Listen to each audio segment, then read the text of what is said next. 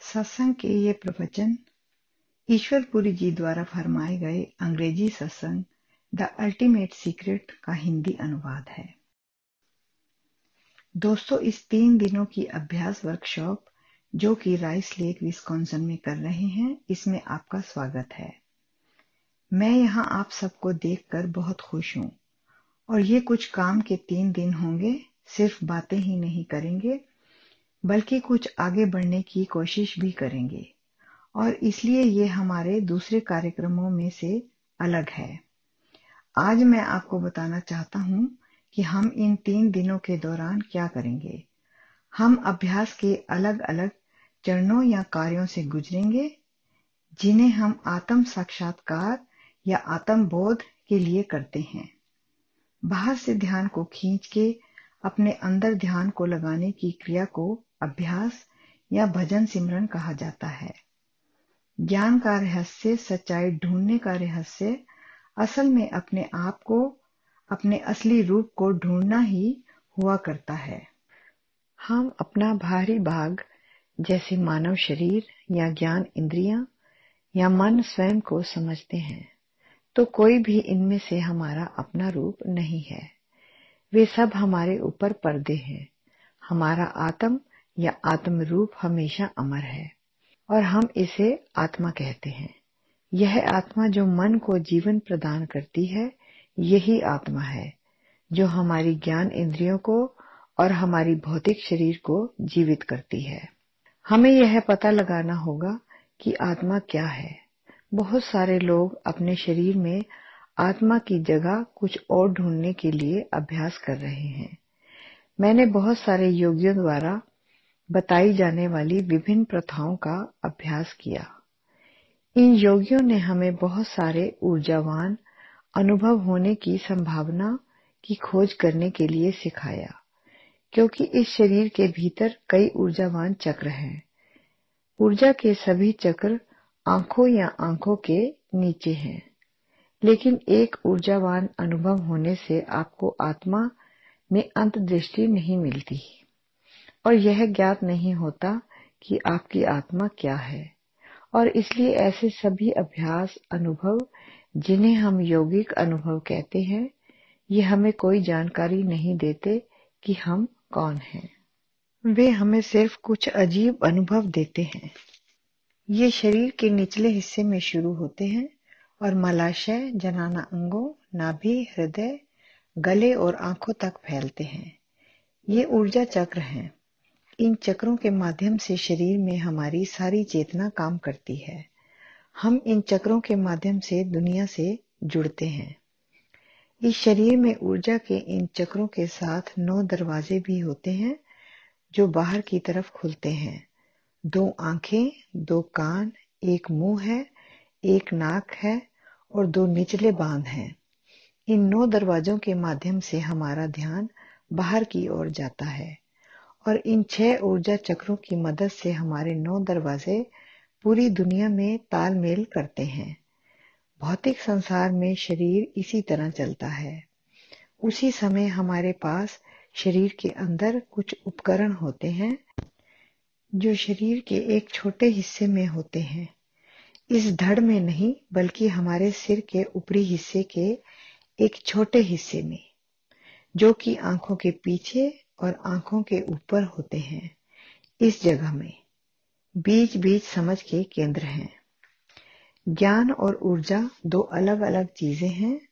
ऊर्जा वह चीज़ है जिसका हम उपयोग करते हैं। ज्ञान वह चीज़ है जिसको हम जानते हैं।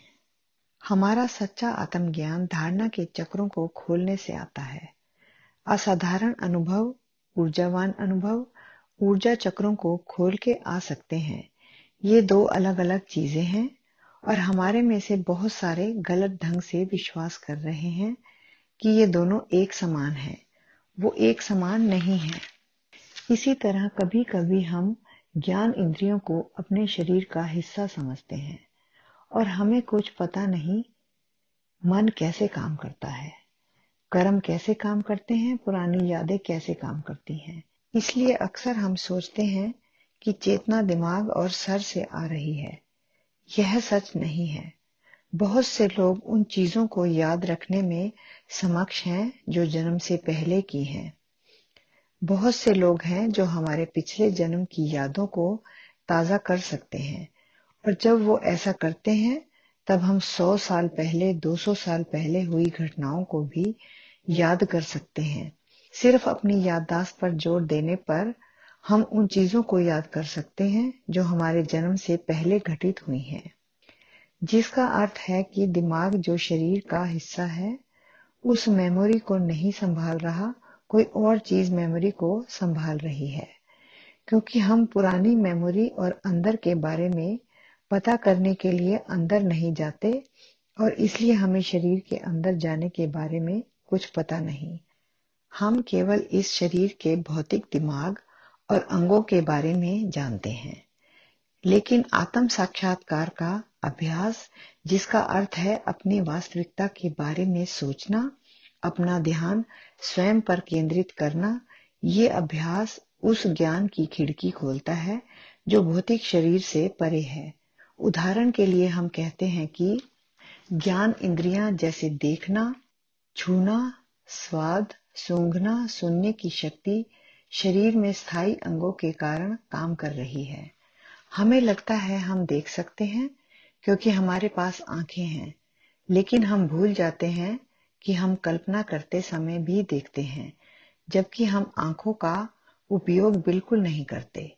हम सपने में भी देखते हैं जब आँखें बंद होती हैं, अर्थात देखना व भौतिक आँखों से देखना दो अलग अलग चीज़ें हैं। फिर देखना क्या हुआ? देखने का कार्य शरीर के अलावा कहीं और से होता है। यदि देखना सिर्फ़ शरीर से संबंधित था तो हम कल्पना में कभी नहीं देख सकते थे। हमने कभी यह नहीं जांचा कि देखने की प्रक्रिया कैसे काम करती है। वास्तव में यदि हम यह जानने की कोशिश करें कि मन देखता है, या ज्ञान इंद्रियाँ देखती हैं, या शारीरिक आँखें देखती हैं तो लगता है इनमें से किसी के साथ भी इस देखने की क्रिया को जोड़ा जा सकता है। जब हम मानसिक रूप से किसी चीज़ के बारे में सोचते हैं, उदाहरण के लिए यदि हम किसी चित्र की कल्पना करते हैं तो हम उस चित्र को देख सकते हैं। हम देखते हैं कि कल्पना करते समय ये आँखें वहाँ काम नहीं करती। क्या देखने का संबंध शरीर के साथ है या ये कुछ और है? इस बात का पता अभ्यास द्वारा बहुत आसानी से लग सकता है। ये वह अभ्यास है जिसके बारे में मैं बात करने जा रहा हूँ। जिसमें ध्यान उस जगह पर खींचा जाता है, यहाँ आप इन आँखों के बिना अंदर देख सकते हो, जहाँ आप इन कानों के बिना सुन सकते हो, जहाँ आप इन हाथों के बिना स्पर्श कर सकते हैं, जहाँ आप इन पैरों के बिना चल सकते हैं। और वह हिस्सा वास्तव में इन आँखों इन कानों और इन हाथों पैरों के काम करने के लिए जिम्मेदार है। हमारे अंदर कुछ ऐसा है जिसके पास सही ज्ञान इंद्रियाँ हैं और ये ज्ञान इंद्रियाँ भौतिक शरीर में प्रवेश करते ही धुंधली हो जाती हैं। ये बात बहुत पते की है कि हमारे भीतर कोई ऐसी चीज़ काम कर रही है जो कि भौतिक शरीर पे बिल्कुल भी निर्भर नहीं है, लेकिन वो सब ज्ञान इंद्रियाँ जो सी हम अपने भौतिक शरीर के माध्यम से प्रयोग करते हैं, उसमें है। हम इसे हर पल प्रयोग करते हैं। यह आंतरिक शरीर है। जब हम कल्पना करते हैं, जब हम अपनी आंतरिक कल्पना अपने भीतर के मन के साथ किसी चीज़ को नजरअंदाज करते हैं तो हम उन ज्ञान इंद्रियों का उपयोग कर रहे होते हैं। सपनों में भी उसी ज्ञान इंद्रियों का उपयोग करते हैं। लेकिन हम जानबूझकर इच्छा शक्ति से यह पता लगाने की कोशिश नहीं करते कि यह कहाँ से हो रहा है। अभ्यास के द्वारा हम यह पता लगा सकते हैं, अभ्यास या भजन सिमरन कैसे होता है? अभ्यास अपने ध्यान को बाहर से खींच के अंदर लेके जाने की कला है। बस यही है। यह एक बहुत ही सरल प्रक्रिया है। हमने बाहरी अनुभवों से लगकर इसे मुश्किल बना दिया है। अगर हमें बाहरी चीज़ों के प्रति इतना लगाव नहीं होता तो हम अपने आंतरिक स्वयं का उपयोग बाहरी स्वयं की तरह ही कर रहे होते। लेकिन हमारे बाहरी लगाव ने हमारे लिए एक बहुत बड़ी समस्या खड़ी कर दी। और जब हम अपना ध्यान अपनी ओर खींचना चाहते हैं तो ये बाहरी लगाव व इच्छाएँ रुकावट डालती हैं। अन्यथा यह एक बहुत ही साधारण मामला है। जब हम खुद पर ध्यान केंद्रित करते हैं तो हम उस स्वयं पर ध्यान लगाकर शुरू करते हैं, जो आँखों को खोले बिना देखने में समक्ष है, जो हमारा काल्पनिक रूप है। इसका मतलब है, अगर हम इन आँखों को बंद करके कल्पना करते हैं कि हम चीज़ों को देख रहे हैं तो हम इन आँखों से नहीं देख रहे, फिर कौन देख रहा है? यह हमारा आंतरिक रूप है। हम हर समय अपने आंतरिक रूप का प्रयोग करते हैं, लेकिन हम इस ओर ध्यान नहीं देते। अभ्यास में हम इस ओर ध्यान देना शुरू करते हैं। जैसे जैसे ध्यान अंदरूनी स्वरूप पर केंद्रित होता है, हम एक खास किस्म की शक्ति का उपयोग करते हैं। इसे ध्यान एकाग्र करने की शक्ति कहा जाता है। ये हमें बहुत बड़ी शक्ति दी गई है, जिससे हम एक चीज़ पर ध्यान एकाग्र करके बाकी चीज़ों से बेखबर हो जाते हैं जिन पर हम ध्यान नहीं दे रहे होते। इस विशेष शक्ति का सबसे बड़ा फ़ायदा हमारे लिए ये है कि हम जहाँ भी चाहें उधर अपने ध्यान को एकाग्र कर सकते हैं। यहाँ कुछ सुंदर फूल हैं। अगर मैं इन फूलों की प्रशंसा करनी शुरू कर दूँ, अब मैं आप सबको और फूलों को जानता हूँ फिर फूलों को गहराई से देखते हुए उनकी प्रशंसा करूँ। मैं यह भूल जाऊँगा कि आप भी यहाँ बैठे हैं। जितना ध्यान व एकाग्रता मैं फूलों पर डालूँगा, उतना ही मैं बाकी चीज़ों से बेखबर होता जाऊँगा। ये हमारे लिए बहुत लाभकारी बात है और इसे अभ्यास में उपयोग किया जाता है। जब हम आंतरिक रूप पर ध्यान केंद्रित करते हैं, वह एक जो कल्पना में देख सकता है, वह जो सपने में देख सकता है वह जो आँखें बंद करके और पूर्ण अंधकार में देख सकता है। किसी चीज़ के बारे में कल्पना करें और हम उसे देख सकते हैं। जब हम अपने उस रूप पर ध्यान केंद्रित करते हैं तो धीरे धीरे हमें पता नहीं चलता कि बाहर क्या हो रहा है। न केवल हमें यह नहीं पता कि बाहर क्या हो रहा है, हम यह भी भूलने लगते हैं कि हमारे हाथ व पैर कहाँ हैं। और फिर हम यह भूलने लगते हैं कि हमारा पूरा शरीर कहाँ है। और आंतरिक रूप जो देखता है और छूता है, स्वाद लेता है और सूंघता है, हमारी वास्तविकता बन जाती है। यह अभ्यास में पहला कदम है। हमें यह दिखाने के लिए एक बहुत महत्वपूर्ण कदम है कि यह शरीर हमारी वास्तविकता नहीं है। हमारे भीतर कुछ और वास्तविक है, शायद अधिक वास्तविक हो।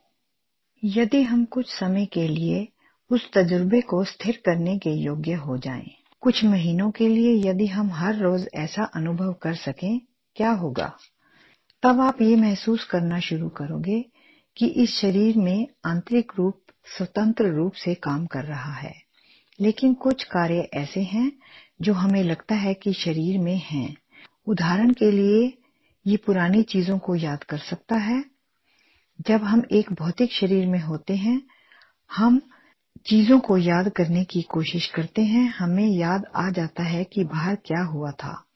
जब आप आंतरिक रूप के साथ कुछ याद करते हैं तो वो चीज़ें याद आनी शुरू हो सकती हैं, जो आपके जन्म से पहले हुई थी। आपको ये पता लगाने के लिए किसी ज्योतिषी, किसी व्यक्ति के पास नहीं जाना पड़ता। आप ज्ञान इंद्रियों वाले अंदरूनी शरीर के साथ बड़ी आसानी से पता लगा सकते हो कि आप जन्म से पहले क्या थे, वे क्या करते थे। इस आंतरिक शरीर का जीवन, इस भौतिक शरीर की तुलना में बहुत लंबा है। ये आपके जन्म से पहले भी था, आपके मरने के बाद भी होगा। यह भीतर का शरीर भी सोचता है, जैसे यह भौतिक शरीर सोचता है। भीतर के शरीर का भी एक मन होता है, जैसा कि हम समझते हैं कि हमारे भौतिक शरीर या दिमाग के पास मन होता है। आंतरिक स्वरूप जो इन ज्ञान इंद्रियों को चलाता है। हम कई बार इसे सूक्ष्म शरीर या ज्ञान इंद्रियों वाला शरीर भी कहते हैं। इसमें कोई भौतिक पदार्थ नहीं होता। इस भौतिक शरीर में भी वही ज्ञान इंद्रियाँ हैं, वही मन और वही भौतिक पदार्थ है। इसलिए जब हम भौतिक शरीर के भौतिक मुद्दे से अनजान होते हैं तो आंतरिक रूप खुल जाता है और हमें पता लगता है कि यह बहुत हल्का है, क्योंकि इसमें कोई भौतिक पदार्थ नहीं है। ये भौतिक शरीर हमें इस भौतिक दुनिया में भारी बनाता है। वह आंतरिक शरीर ज्ञान, इंद्रियों, मन और आत्मा से बना होता है। हमारी आत्मा इन चीज़ों को जीवन प्रदान करती है। आत्मा मन को जीवन देती है, आत्मा आंतरिक शरीर को जीवित करती है और इसलिए बाहर से, शरीर से आँखों के पीछे इस स्थान पर ध्यान केंद्रित करके सूक्ष्म शरीर या आंतरिक शरीर की खोज की जा सकती है। इसी जगह से क्यों? किसी गैर भौतिक चीज़ को ढूँढने के लिए हम भौतिक शरीर के इस स्थान पर क्यों केंद्रित करें? इसका कारण ये है कि अंदरूनी शरीर गैर भौतिक शरीर, जिसमें ज्ञान इंद्रियाँ हैं, इस समय सिर के अंदर से एक केंद्र से इस शरीर में काम कर रही हैं। और इस केंद्र को बहुत बार तीसरी आँख तीसरी आँख का केंद्र, आंतरिक केंद्र, चेतना का केंद्र, जागृत चेतना का केंद्र कहा जाता है। इसे जागृत चेतना का केंद्र क्यों कहा जाता है? क्योंकि भौतिक शरीर में हमें जागते हुए इसी केंद्र से काम कर रहे होते हैं। साथ ही इसे तीसरा केंद्र क्यों कहा जाता है? क्योंकि जब हम बाहर देख रहे होते हैं तो ये दो आँखें भौतिक आँखें नहीं देख रही होती। ये दोनों एक दूसरे से अलग हैं। हम दो तस्वीरें देखेंगे। हम केवल एक तस्वीर देखते हैं। ये दो तस्वीरें जो दो आँखें देख रही हैं, वो किस जगह पर इन दो तस्वीरों को जोड़ती हैं?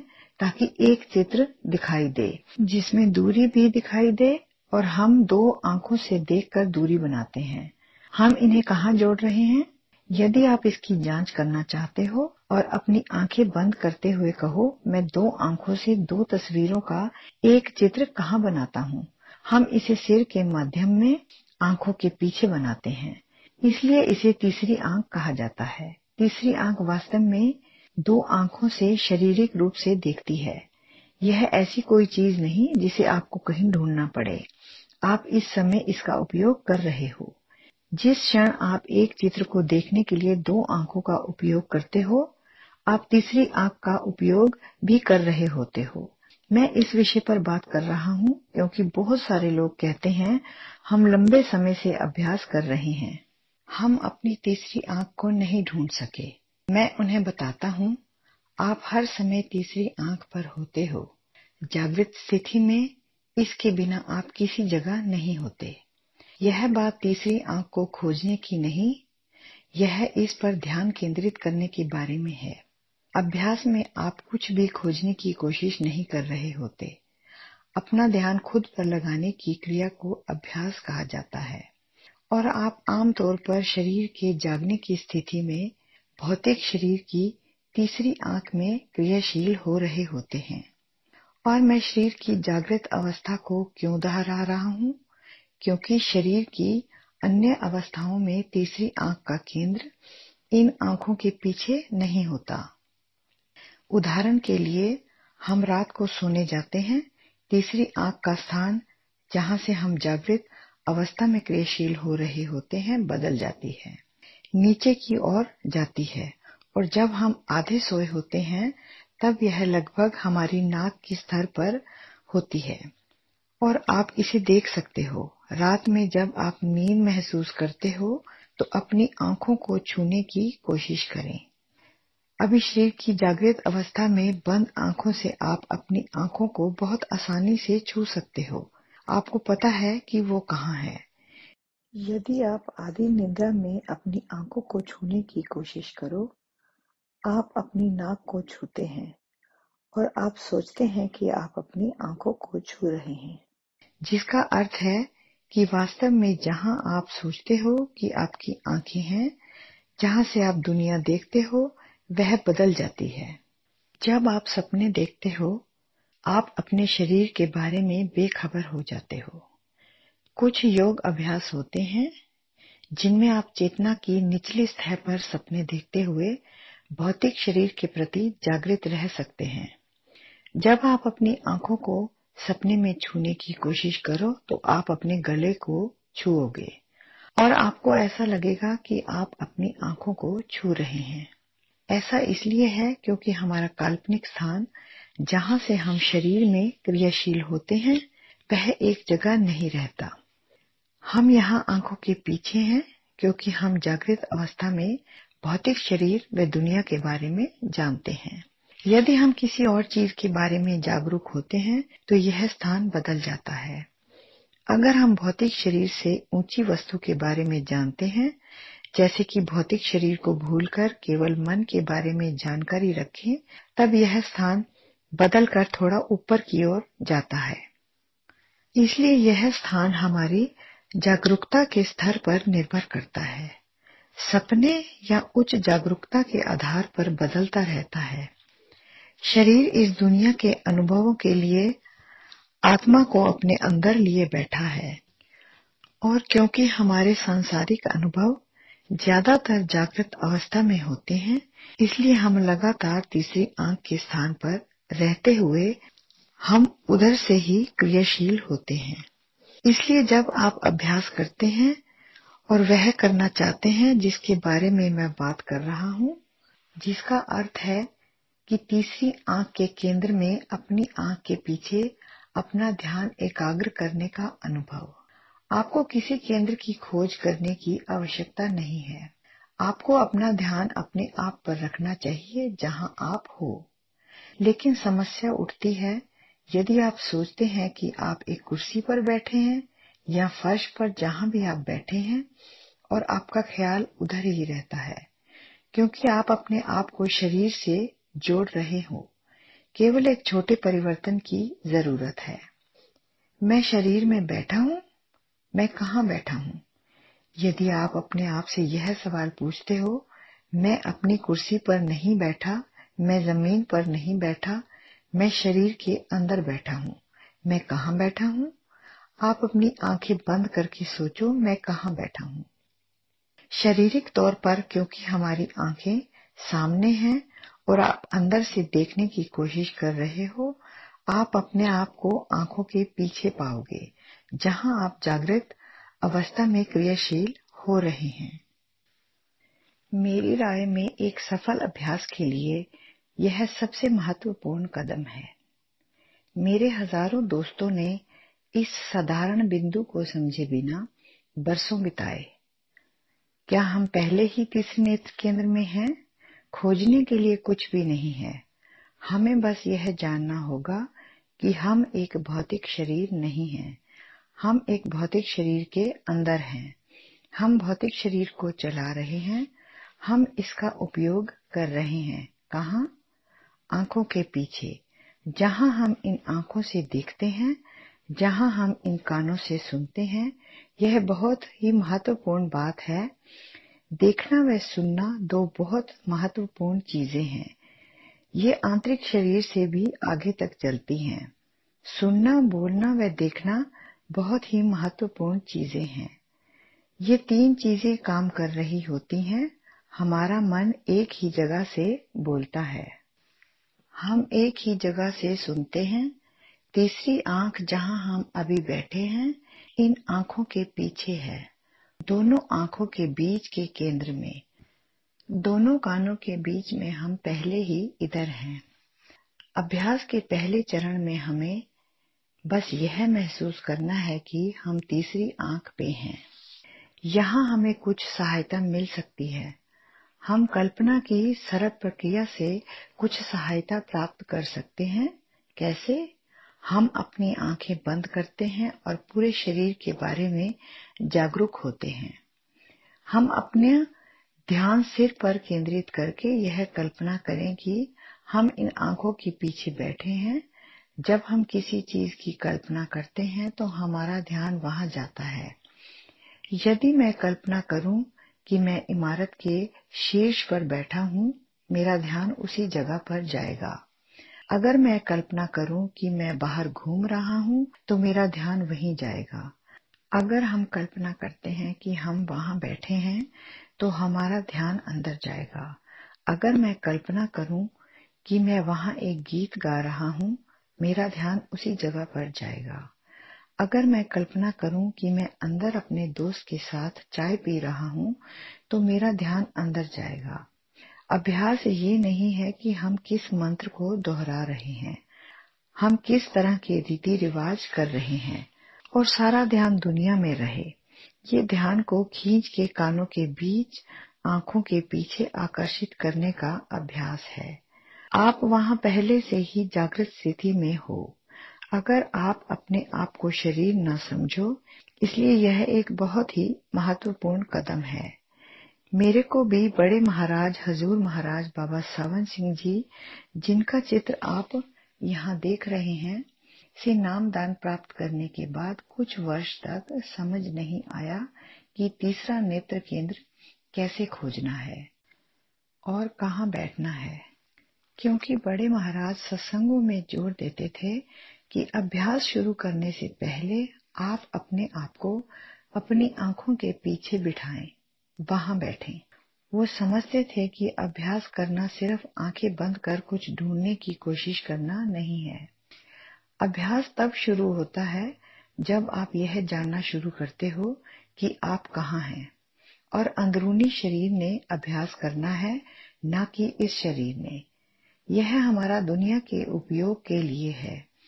हम अंदर कुछ खोजने की कोशिश कर रहे हैं। हमें उसके लिए अपने अंदरूनी शरीर का उपयोग करना होगा। और यही कारण है कि मुझे उनके पास जाकर कहना पड़ा कि मैं ढूंढ नहीं सका। उन्होंने मेरे साथ एक छोटी सी चाल खेली। उन्होंने कहा, अपना हाथ व अपनी उंगली हवा में उठाओ।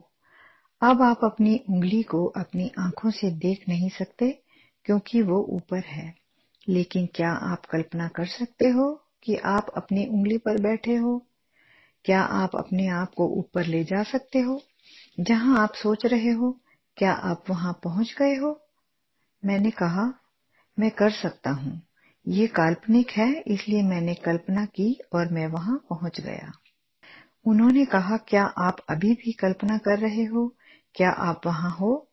मैंने कहा, मैं अभी भी कल्पना कर रहा हूँ कि मैं अपनी उंगली पर हूँ। उन्होंने कहा धीरे धीरे अपनी उंगली नीचे लेकर आओ। उन्होंने कहा, क्या आप अभी भी वही हो? मैंने कहा, मैं अभी भी वही हूँ। क्या आप अभी भी वहाँ हैं? मैं अभी भी वही हूँ। अंदर छलांग लगाओ। मैं छलांग लगा के अंदर चला गया। मुझे पता लग गया कि मैं वहाँ था। और इसलिए उन्होंने मुझे समझाया और कहा, इस जगह जहाँ आपको अभी अभ्यास करना है, यह बहुत महत्वपूर्ण है क्योंकि हम उस जगह अभ्यास नहीं करते जहाँ हम हैं। हम अपने अभ्यास स्थान को और अधिक जटिल कर देते हैं, जैसे कि अभ्यास के लिए एक विशेष कुर्सी खरीदना, विशेष गद्दे, विशेष कालीन को खरीद के हम कहते हैं, अभ्यास के लिए हमने एक बहुत कीमती कालीन खरीदा है।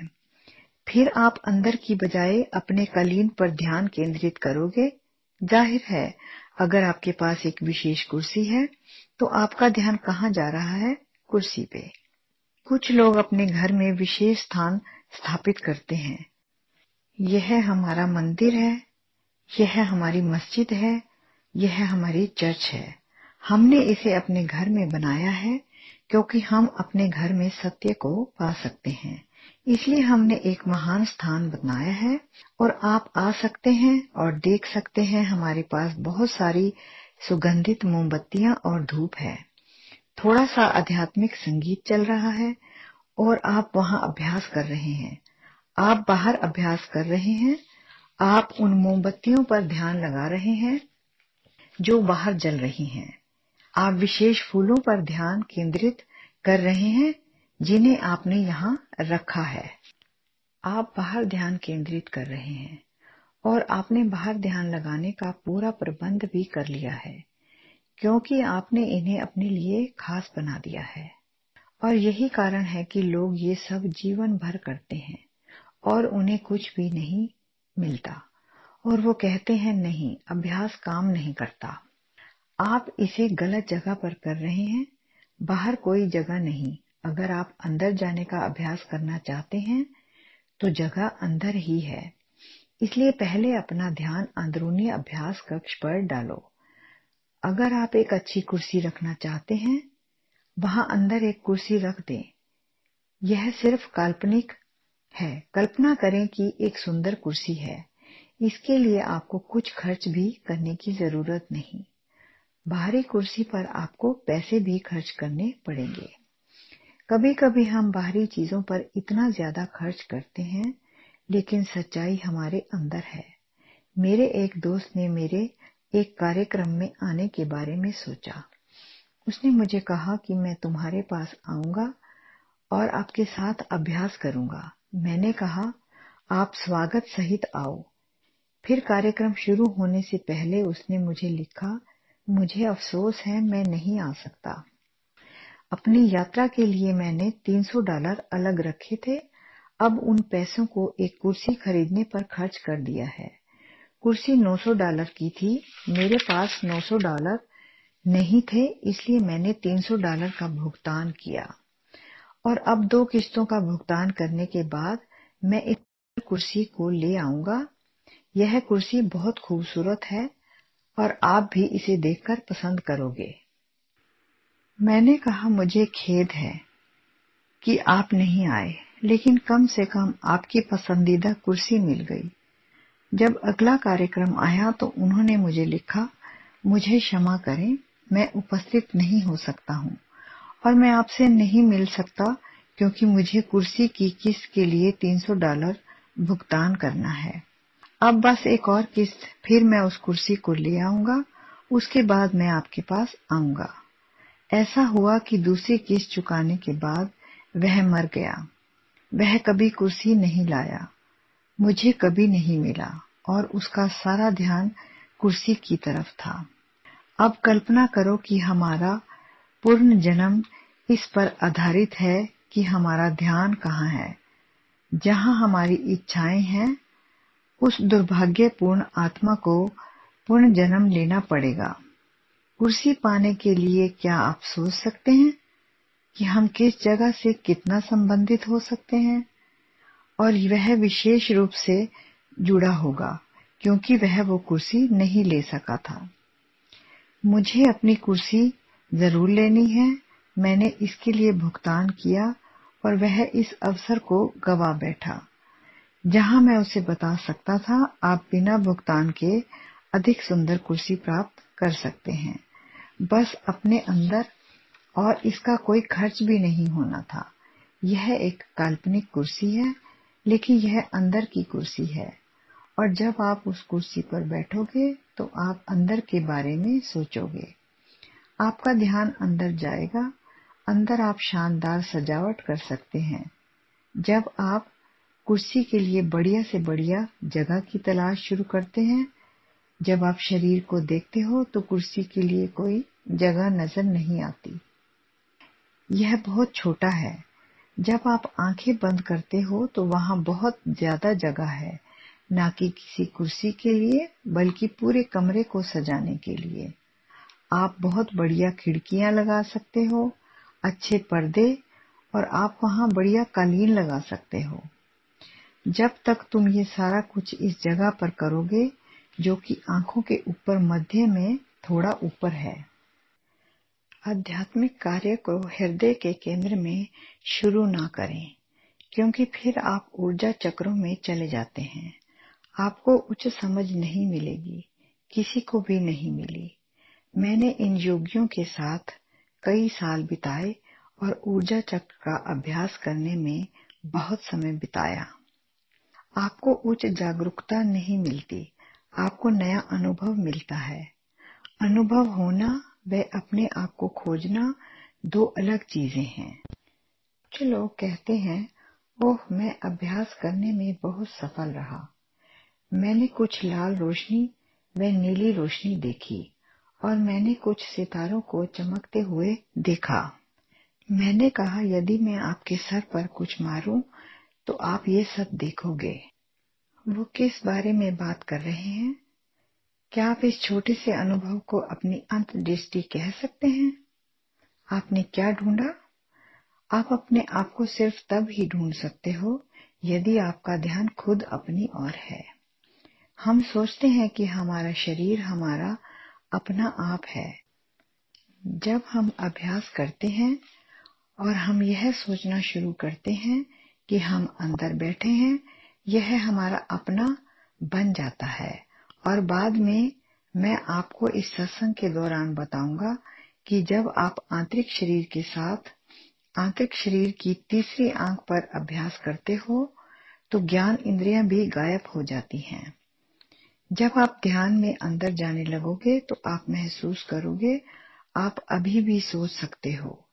आप अभी भी जीवित हो, आपकी सोच अधिक स्पष्ट व तेज हो जाती है, क्योंकि मन अभी भी वही है। आपने ज्ञान इंद्रियों से ध्यान खींच लिया है, भौतिक शरीर से ध्यान खींच लिया है, लेकिन मन अभी भी काम कर रहा है। और फिर हम सोचते हैं, यह हमारा स्वयं स्वरूप है। यह मन जिसके साथ हम सोचते हैं, यह हमारा अपना स्वरूप है। यह बात सच नहीं। हमारा अपना आप वो है जिसने मन को जीवित किया, हम जीवन शक्ति आत्मा है। मन एक शरीर है, मन सभी अनुभवों का उत्पादन कर रहा है, जो हम इंद्रियाँ और भौतिक शरीर के साथ भोग रहे हैं, और हमें इसका एहसास नहीं होता। हमें लगता है कि अनुभव कहीं और से आते हैं। हम यहाँ बैठे अनुभव करता ही हैं। तब हम मन की स्थिति में चले जाते हैं। तब आपको पता लग जाता है कि यह मन सब कुछ बना रहा है। ये हमारे लिए एक महान जानकारी है। यह जानकारी सब कुछ उल्टा कर देती है। हमने सोचा कि हम इसको अनुभव करने के लिए एक दुनिया में आए हैं। हम अनुभव की दुनिया बनाते हुए एक समय में इसका अनुभव कर रहे हैं। इसलिए यह हमारे सभी अनुभवों के मूल को खोजने का शानदार तरीका है। हमें अपने मन की खोज करके पूरी सृष्टि की उत्पत्ति के बारे में पता लग सकता है। इसलिए मन को भी एक शरीर कहा गया है और वह इसे कारण शरीर कहते हैं। ये कारण शरीर सब कुछ होने का कारण है। लेकिन यह भी हमारा स्वयं नहीं है। यह भी एक शरीर है। एकमात्र समस्या यह है कि उसके बाद हम मन से परे जाने के लिए कुछ भी नहीं कर सकते, क्योंकि हम जो कुछ करते हैं, मन के साथ करते हैं। हम हर प्रयास मन के साथ करते हैं। जब हम कहते हैं कि मैं इसे करने जा रहा हूँ, मन बोल रहा होता है। आपका मन बात करके खुद उससे परे नहीं जा सकता। और यही कारण है, भारत और दुनिया भर में बहुत सारे भक्तों और संतों जिनसे मैंने बात की और वह सभी यह सोच रहे हैं कि मन व आत्मा ही हमारे मूल हैं। जब उन्हें मानसिक स्तर पर विभिन्न अनुभवों के बारे में पता चलता है, तब उन्हें इस बात का एहसास होना शुरू हो जाता है कि एक उच्चतर मन है, निचला मन है, वे विभिन्न प्रकार के मनों को देख सकते हैं। वो एक मन को देखते हैं जिससे सारे मन अस्तित्व में आते हैं। ब्राह्मणी यूनिवर्सल मन, जैसे कि उनको हर चीज़ की सच्चाई के बारे में पता लग गया हो। लेकिन यह सत्य नहीं। सत्य यह है कि हम एक आत्मा है जो बिल्कुल भी नहीं सोचती। जो मन को जीवित रखती है, मन को बनाती है, शरीर को बनाती है। यह आत्मा है। जीवन का सिद्धांत हमारे पास ये हमारी आत्मा है। और मुझे अफसोस के साथ यह बात कहनी पड़ रही है कि किसी भी तरह से, किसी भी अभ्यास के द्वारा या किसी भी तरीके द्वारा इसे ढूंढ नहीं सकते। लोग कहते हैं, आप अपने सच्चे स्वयं को पा सकते हैं। इसके लिए बहुत प्रकार की कोशिश करते हैं। जितनी अधिक आप कोशिश करते हो, उतना ही अधिक आप मन पर निर्भर करते हो। और अभी भी यहाँ महात्मा है, जो सामान्य मनुष्य की तरह हैं। जैसे कि जिनकी तस्वीर आप यहाँ देख रहे हैं, बड़े महाराज बाबा सावन सिंह जी, वह अपने भौतिक शरीर में रहते हुए मन के पार जा चुके थे। वह मन के पार कैसे चले गए? उन्होंने हमारी और कई अन्य लोगों की मन से परे जाने में मदद की। उन्होंने यह कैसे किया? जब हम यह समझते हैं कि अभ्यास और ध्यान हमें वहाँ ले जा सकते हैं तो कोई भी इंसान हमें मन से परे जाने में मदद कैसे कर सकता है? हम अपने दम पर मन से परे क्यों नहीं जा सकते हैं? सच यह है, केवल वो ही चीज़ हमें मन से परे ले जा सकती है जो खुद मन से परे है। सोच, प्रयास, ध्यान, अभ्यास आदि सब मन के दायरे में है। इनमें से कोई भी चीज़ आपको मन से परे नहीं ले जा सकती। लेकिन कुछ चीज़ें हैं जो मन से परे होती हैं और हम इधर भी यहाँ से अनुभव कर रहे हैं। जिनमें से सबसे महत्वपूर्ण प्रेम का अनुभव होता है। प्यार क्या है? कहते हैं, भगवान प्रेम है। और कहते हैं प्रेम और गुरु भक्ति सच्ची आध्यात्मिकता है। वह इस पर क्यों ज़ोर देते हैं? क्योंकि प्रेम मन से नहीं आता, प्रेम ज्ञान इंद्रियों से नहीं आता, प्रेम शरीर से नहीं आता, प्रेम हमारी आत्मा से आता है। आत्मा हमारे बीच काम कर रही है, यही आत्मा यहाँ और अन्य सभी स्तरों पर मन के ऊपर के स्तर सहित प्रेम का अनुभव पैदा करती है। इसलिए यदि कोई चीज़ हमें मन से परे ले जा सकती है तो वो प्रेम है। लेकिन प्रेम सिर्फ़ एक शब्द है। असली प्रेम क्या है? जो प्रेम खींचता है। एक प्रेम होता है जो खींचता है, और एक और होता है जो खींच ही लेता है। एक को प्रेमी कहा जाता है, एक को प्यारा। यह कैसे होता है? आखिरकार सच क्या है? केवल प्रेम ही है। भगवान प्यार है, रचनात्मक शक्ति प्यार है। आप इस आध्यात्मिक शक्ति को कोई भी नाम दे दो, लेकिन प्रेम ही वास्तविक रहस्य है। और यह आंतरिक प्रेम आपकी अपनी वास्तविकता और आपकी असल वास्तविकता है। इसलिए जब मैं कहता हूँ, प्यार आपको आकर्षित करता है तो इसका मतलब है आपकी खुद की वास्तविकता आपको आकर्षित करती है। लेकिन आप वास्तविकता को देख नहीं सकते। इसलिए आदमी जो इन बड़े महाराज की तरह एक भौतिक शरीर में रहते हुए मन से ऊपर वाली प्रेम की अवस्था के बारे में जानते हैं। यह नहीं कि वे केवल इसे एक बार जानते थे, एक बार तो हम भी जानते थे। वे हर समय इसे जानते हैं। मानव शरीर में होते हुए उस समय वो सिर्फ़ मन इंद्रियों या शरीर का अनुभव नहीं कर रहे होते, लेकिन मन से ऊपर सच्चे प्यार का अनुभव भी उतना ही होता है। और जब हम ऐसे व्यक्ति के सामने आते हैं तो हमारे साथ कुछ ऐसा होता है, जिसे हम आसानी से नहीं समझ सकते, जिसे ज्ञान इंद्रियों और शरीर द्वारा भी नहीं समझा जा सकता। लेकिन यह हमें आकर्षित कर लेता है। हम सोचते हैं कि कोई चीज़ हमें बाहर से खींच रही है, क्योंकि हमारा सारा ध्यान बाहर की तरफ़ है, और वही प्यार जो हमारे अंदर है, वही दोबारा बाहर की तरफ़ से एक व्यक्ति के रूप में पैदा होकर हमारे जीवन में आता है। और ऐसे इंसान को हम एक संत सतगुरु, एक पूर्ण महापुरुष कहते हैं। उनकी योग्यता या क्षमता क्या है? वह पूरी तरह से निरक्षर हो सकता है। हो सकता है वो कभी स्कूल न गया हो। वह बहुत गरीब हो सकता है। हम उसमें कोई गुण नहीं देख सकते हो। लेकिन वह अपने मानव शरीर में होते हुए अपने मन से ऊपर अपने वास्तविक आत्म को जानता है। यही रहस्य व राज है। जब वो हमारी ज़िंदगी में आते हैं तो कोई चीज़ हमें खींचती है। हम जिसे अच्छी तरह से समझा नहीं सकते, क्योंकि प्यार का कोई स्पष्टीकरण नहीं होता। क्योंकि जब हम स्पष्टीकरण देते हैं तो मन अंदर आ जाता है।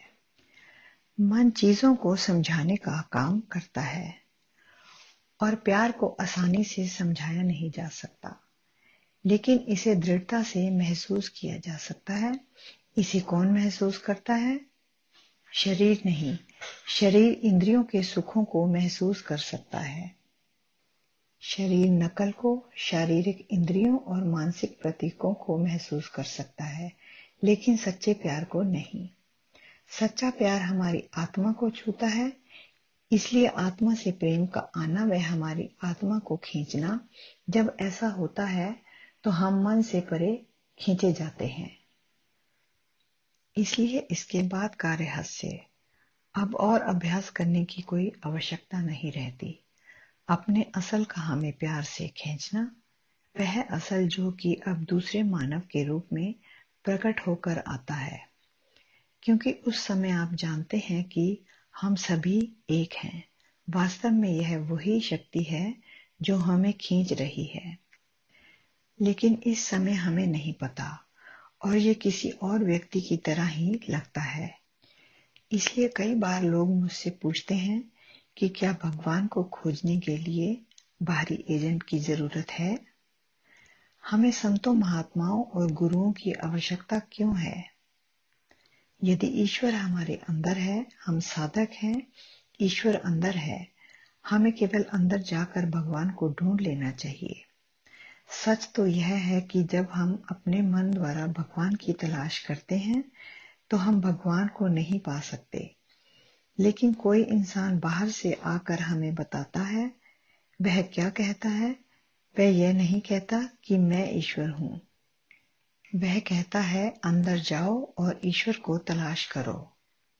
वह यह नहीं कहता, बाहर आ जाओ, मैं आपको एक विशेष स्थान पर ले जाऊँगा जहाँ आप भगवान को ढूंढ सकते हो। वह कहता है, अपने भीतर ही खोजो, और जब आप अंदर जाओगे तो आप उसी व्यक्ति को देखोगे, जिस व्यक्ति को आप बाहर देखते हैं। अंदर बैठे हुए, और वो कहता है, मैं बाहर इसलिए था, क्योंकि आप हमेशा बाहर देखते हैं। मैं हमेशा अंदर था। पूर्ण संत सतगुरु बाहर नहीं है। हम अंदर नहीं देखते, इसलिए वो बाहर दिखाई देते हैं।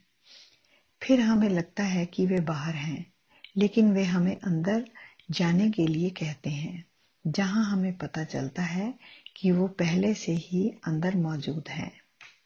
जब हम प्यार के साथ मन से परे खींचे चले जाते हैं, हमें एहसास होता है कि परम संत महात्मा और हमारी वास्तविकता में कोई अंतर नहीं था, और हमारी वास्तविकता ही वास्तव में बाहर नज़र आ रही थी। अब यह कब होता है? आखिरकार यह एक बहुत ही दुर्लभ वाक्य है कि हम इस भौतिक दुनिया में रहते हुए अपनी वास्तविकता द्वारा आकर्षित हो सकते हैं। मुझे नहीं पता कि हमें यहाँ रहते हुए कितने जन्म हो गए। ऐसा कब होता है कि हम आकर्षित होते हैं? जब हम इस अनुभव से थक जाते हैं, जब हम कहते हैं कि बहुत हो गया। यदि हम कहते हैं कि हम अपनी ज़िंदगी का आनंद ले रहे हैं तो आनंद लेते रहो। इस तरह की घटना होने का कोई समय नहीं है। केवल जब हमें लगता है कि हमें इस भौतिक संसार की कोई ज़रूरत नहीं, अब पर्याप्त हो गया। हमें नहीं मालूम हम यहाँ कैसे पहुँचे, हम नहीं जानते सच्चाई क्या है, लेकिन हम इससे थक चुके हैं। हम यहाँ और नहीं रहना चाहते, ये हमारी वास्तविक जगह नहीं है। हम जानते हैं कि ये हमारा असली घर नहीं है और हमने अपने असली घर वापस जाना है। जब ऐसी भावनाएँ आती हैं तो हम इस घटना के लिए तैयार होते हैं। ये घटना कैसे महसूस होती है? एक पूर्ण संत सतगुरु हमारे जीवन में आता है। हम उसे खुद नहीं ढूंढ सकते। जब हम तैयार हो जाएँ तो वह आता है। वह आपके जीवन में संयोग से या मौके से आएगा। ऐसी स्थितियाँ बनेंगी ताकि वह प्रकट हो सके। और हमारा मन अभी भी यह तय करने की कोशिश कर रहा होता है कि एक आम इंसान गुरु कैसे हो सकता है। मन में अन्य छोटी छोटी शंकाएँ भी आनी शुरू हो जाती हैं। मुझे बाहरी एजेंट की ज़रूरत नहीं है। एजेंट आपके खुद के अलावा और कोई भी नहीं। और यह आपकी खुद की वास्तविकता बाहर एक परम संत गुरु या कामिल मुर्शिद या पूर्ण जीवित गुरु परफेक्ट लिविंग मास्टर के रूप में प्रस्तुत होती है। क्योंकि आप नहीं जानते कि आप कौन हैं, अगर आपको अपने बारे में समझ हो तो आपको संत सतगुरु की, कामिल मुर्शिद की कोई ज़रूरत नहीं। ये सिर्फ़ इसलिए है क्योंकि हम अपने बारे में नहीं जानते। हम अपने शरीर को अपना आप समझते हैं, अपने मन को अपना आप समझते हैं। इसलिए हमारे अपने आप का ऐसा अनुभव बाहर एक परम संत सतगुरु या परफेक्ट लिविंग मास्टर के रूप में आता है।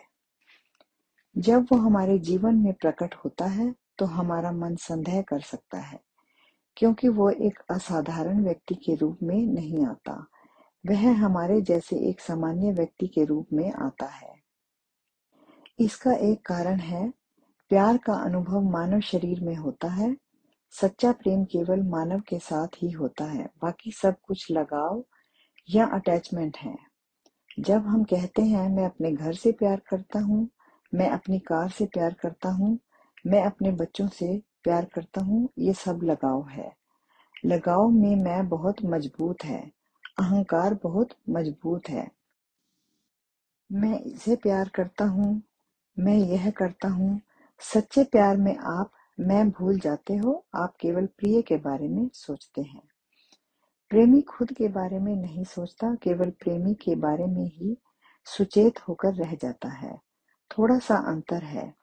यही कारण है कि सच्चा प्यार जब यहाँ आता है तो एक असाधारण या साधारण व्यक्ति के बजाय एक आम सामान्य व्यक्ति से आता है। मान लो यहाँ एक असाधारण व्यक्ति आ जाए।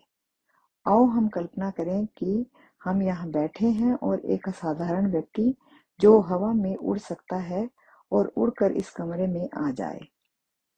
हम सब उसकी ओर देखना शुरू कर देंगे। मैं कुदरती तौर पर बोलना बंद कर दूँगा। आप मेरी बात नहीं सुनोगे और उसकी ओर देखना शुरू कर दोगे कि यह क्या हो रहा है। और जब वह व्यक्ति हमारे ऊपर उड़ रहा है तो हमें आश्चर्य होगा कि यह उड़ कैसे रहा है। हम में से कोई सोचेगा, ये कोई चाल है या कोई ट्रिक है, ज़रूर कोई गुप्त धागा या रस्सी है। कुछ कहेंगे कोई रस्सी नहीं, यह सचमुच उड़ रहा है। कुछ लोग इस अजीब वाक्य को देखकर बेहोश हो सकते हैं और बेचैन भी हो सकते हैं। हम में से कुछ इसकी सराहना करेंगे, कुछ लोग ऐसे व्यक्ति की पूजा भी कर सकते हैं। कोई भी ऐसे व्यक्ति को प्यार नहीं करेगा। यह अनोखी चीज़ प्यार पैदा नहीं करती है। यह अन्य सभी प्रकार की भावनाओं को पैदा करती है। भावुक या भावनात्मक भावनाएँ ये प्रेम पैदा नहीं करती। जब हमारे जैसे ही सामान्य व्यक्ति मिलता है, हम प्यार व दोस्ती का अनुभव करते हैं। आज किसी ने मुझे एक पुराने संत का संदेश भेजा। वह कहता है कि प्यार बहुत दुर्लभ है, दोस्ती और भी दुर्लभ है, और परम संत सतगुरु पहले दोस्त होते हैं, फिर प्रेमी और आखिर में मुर्शिद होते हैं। वास्तव में उनका हमारे साथ इस तरह का ही रिश्ता होता है। मैं अब बड़े महाराज जी के एक सत्संगी की कहानी सुनाने जा रहा हूँ। मैंने कई बार पहले डॉक्टर ईश्वर सिंह की ये कहानी सुनाई, जिनको नाम दान लेने से पहले अपनी बाजू तुड़वानी पड़ी, जो अपने पिता को रस्सियों से बांधकर बड़े महाराज जी के दर्शन कराने के लिए लेकर आया था। इस ईश्वर सिंह ने मरने से पहले हमारे घर में बहुत समय बिताया। उसने कहा कि मुझे एक चीज़ के बारे में पता लग गया कि गुरु पहले दोस्त है और गुरु बाद में। एक परम संत सतगुरु या परफेक्ट लिविंग मास्टर पहले एक दोस्त है और बाद में मुर्शिद है। यदि कोई दोस्ती ना हो तो मुर्शिद के बारे में भूल जाओ। यह महत्वपूर्ण क्यों है? क्योंकि मित्रता सच्ची मित्रता, सच्चे प्रेम पर आधारित है। और यही कारण है कि मित्रता का अनुभव हम एक ऐसे व्यक्ति के साथ करते हैं, जो कि एक आम आदमी की तरह हमारे जैसा ही होता है। एक परम संत सतगुरु या परफेक्ट लिविंग मास्टर हमारे जैसा ही होता है। वो एक साधारण इंसान होता है, जो एक साधारण इंसान की तरह पैदा होता है, एक साधारण इंसान की तरह मरता है। एक आम इंसान की तरह बीमार होता है, एक आम इंसान की तरह दवाई लेता है। एक आम इंसान की तरह भोजन खाता है। और अगर वो एक क्लीन शेव या मोना इंसान है तो वो सामान्य इंसान की तरह शिट शेव पेशावर करता है। मैं इन बातों का ज़िक्र इसलिए कर रहा हूँ क्योंकि परम संत सतगुरु या परफेक्ट लिविंग मास्टर शरीर करके, मन और ज्ञान इंद्रियों करके कोई अलग तरह के नहीं होते। उनसे हमारे में सिर्फ़ अंतर है कि वो लगातार 24/7 मन से परे की अवस्था में जागरूक रहते हैं। वो एक ही समय में चेतना की सभी मंजिलों से वाकफ होते हैं। यदि हम इस स्तर तक पहुँचने के लिए अभ्यास करना चाहते हैं तो हम कदम दर कदम चलते हैं। पहला कदम यह है, आपको भूलना होगा कि यह शरीर कहाँ है। इस शरीर को भूल जाने के बाद आप अपने अंदरूनी शरीर को जान सकते हैं। जब आप अंदरूनी शरीर को जानते हो तो यह ही वास्तविक शरीर रह जाता है, और कुछ नहीं। अगर और आगे जाना चाहते हो तो आप अपने ध्यान को आंतरिक शरीर या इंद्रियों के शरीर से खींचकर मन या कारण शरीर पर रखो। जब आप कारण शरीर का अनुभव करते हो तो यह एकमात्र वास्तविकता रह जाती है।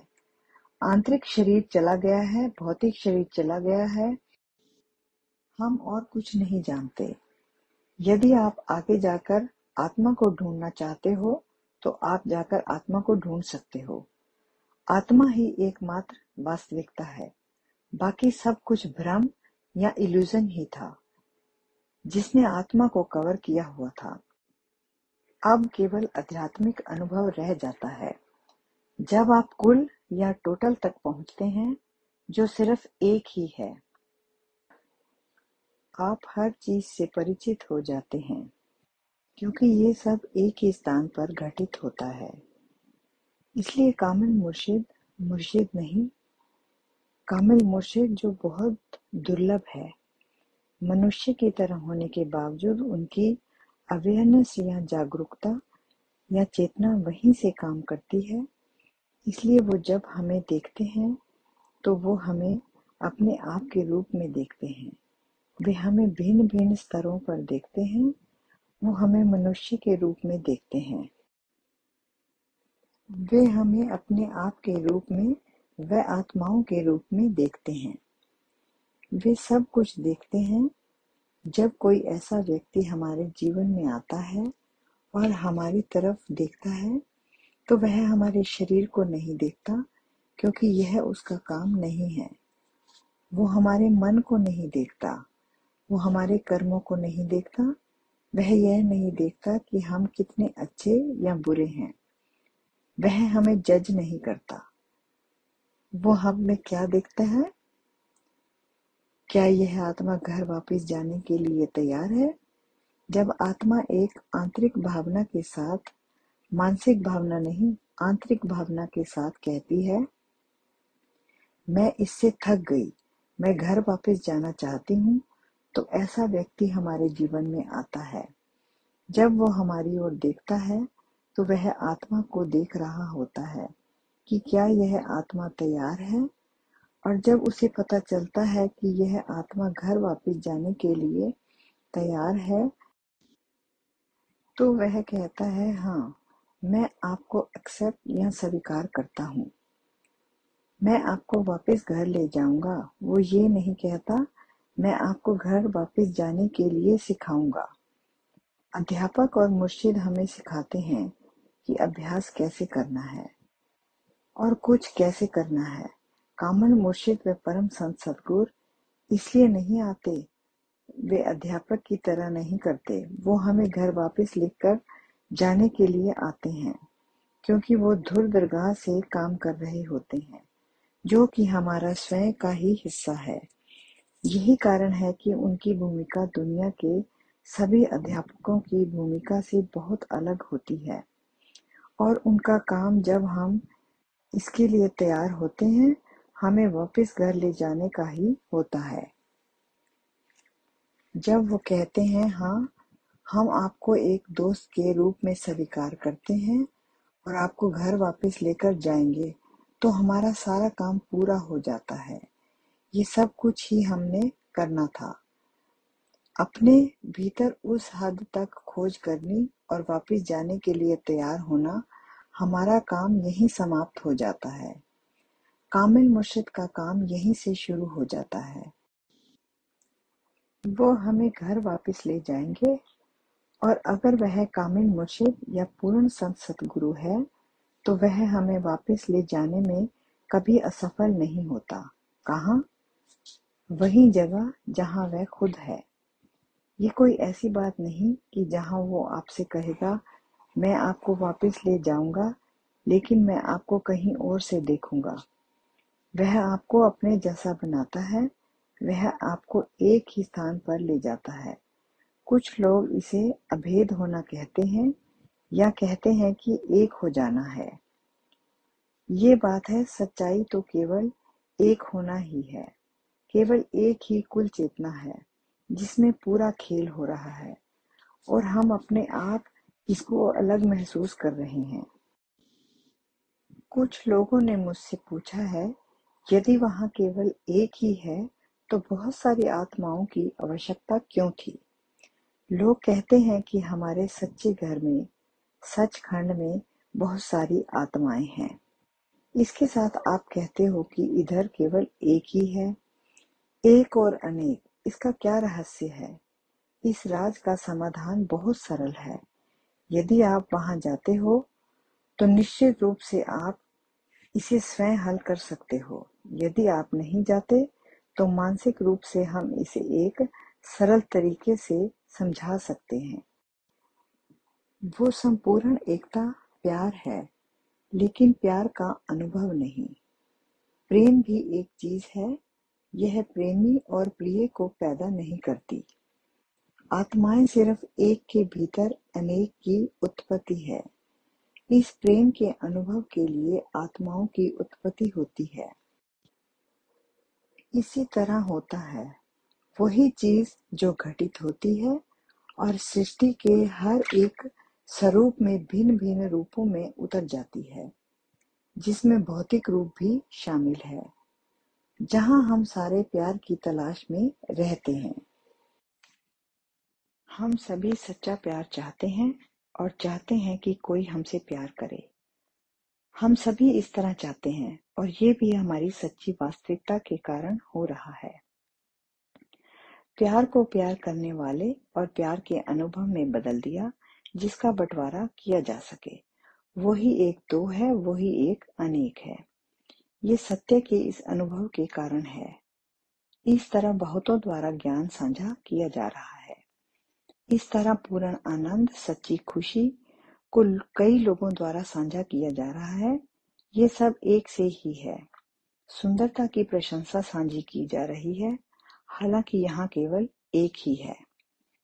इसलिए याद रखें कि हमारी आत्मा जो मन से परे है, कुछ कर रही है। प्यार आत्मा से आता है। काल और समय से बाहर की वास्तविक समझ आत्मा से आ रही है। सुंदरता की सराहना भी आत्मा से आती है, एक आनंदित अवस्था जो विरोधी चीज़ें जैसे खुशी, नाखुशी से रहित है। आत्मा से आ रही है, लेकिन अन्य चीज़ें जैसे सोच, तर्क, ज्ञान, इंद्रियों को समझना, चीज़ों को समझना, दलीलें करना, वो मन से आ रहा है। इस तरह कुछ चीज़ें हैं जो ज्ञान इंद्रियों से आती हैं। देखना, छूना, चखना, सूंघना, ये सभी मन में एक साथ थे। लेकिन ज्ञान इंद्रियों में एक दूसरे से अलग होकर काम करते हैं और बाद में वो सब भौतिक शरीर में काम कर रहे हैं। यहाँ भौतिक शरीर में हम सभी अलग अलग नज़र आते हैं और यह अलगाव बहुत वास्तविक लगता है और हम सब अपने आप को अलग समझते हैं। यह शानदार ढंग है। शानदार योजना जिसमें हमारे अपने असल की असली सुंदरता सृष्टि में बहुत सारे तरीकों से प्रकट हो रही है। यदि आप उस दृष्टिकोण से ब्रह्मांड को देखते हैं तो आप हैरान होंगे कि सृष्टि कितनी बढ़िया है, और आप इस बात से भी हैरान होंगे कि सृष्टिकर्ता कितना महान है। और पूरी सृष्टि सृष्टिकर्ता आपका अपना स्वयं का स्वरूप है। मैं जो कुछ आपके साथ साझा कर रहा हूँ, आप इसे अभ्यास के माध्यम से खुद अनुभव कर सकते हैं। सही अभ्यास के माध्यम से, एक कामल मुर्शिद के मार्गदर्शन के साथ।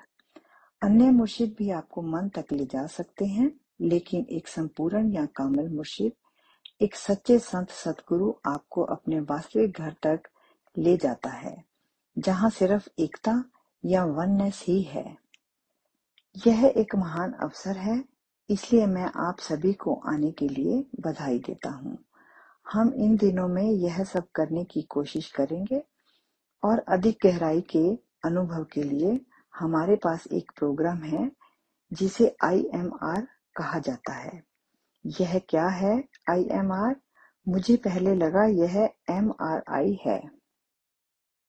लेकिन फिर मुझे बताया गया एमआरआई एक चिकित्सा प्रक्रिया थी। आईएमआर इंटेंसिव मेडिटेशन रिट्रीट है। अगले महीने मुझे लगता है कि यह कैलिफ़ोर्निया में होने जा रहा है।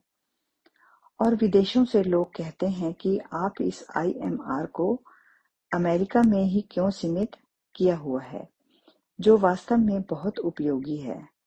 हम ये चार कर चुके हैं और सभी ने इसे बहुत उपयोगी और प्रैक्टिकल पाया है। क्योंकि हम लगभग एक सप्ताह रोज़ाना अभ्यास करते हैं, और यह वास्तव में सिर्फ़ बात करने की बजाय एक बहुत ही प्रैक्टिकल सेशन होता है।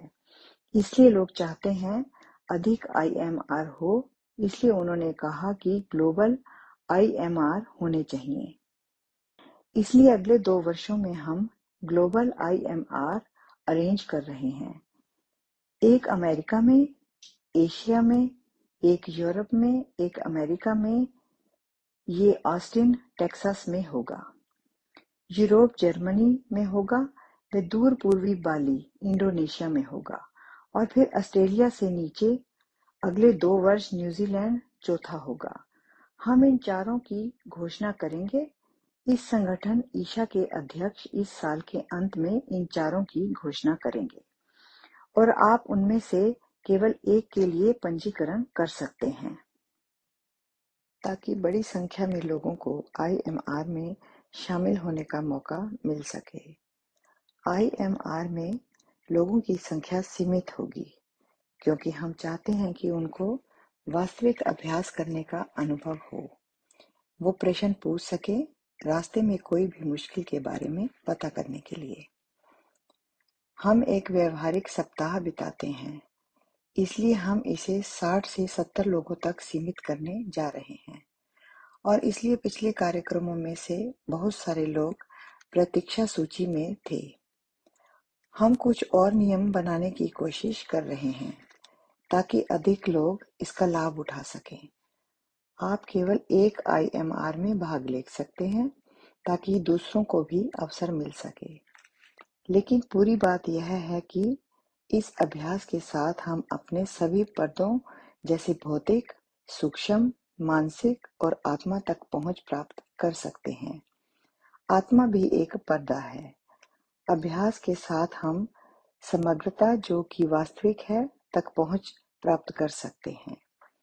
हम इसे ढूंढ सकते हैं। आज मैंने इसकी व्याख्या की कि अभ्यास के साथ हम क्या कर सकते हैं। हमारी असल असलियत क्या है? अब हम अपना अभ्यास शुरू करेंगे। अभ्यास का पहला चरण यह जानना होता है कि अभ्यास कहाँ से करना है। कहीं बाहर से किसी भी विशेष कमरे में नहीं, किसी विशेष जगह नहीं। आप अपने सिर ऊपर सबसे अच्छा अभ्यास कक्ष या कमरा लिए घूम रहे हो। इसलिए आप जहाँ भी हो, अभ्यास कर सकते हो। आप किसी भी स्थिति में अभ्यास कर सकते हैं। सारी बात ध्यान को अंदर की तरफ़ रखने की है।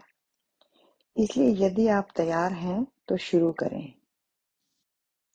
अब यहाँ प्रश्न पूछा गया है कि हमें कौन सा आसन या पोस्चर अपनाना चाहिए?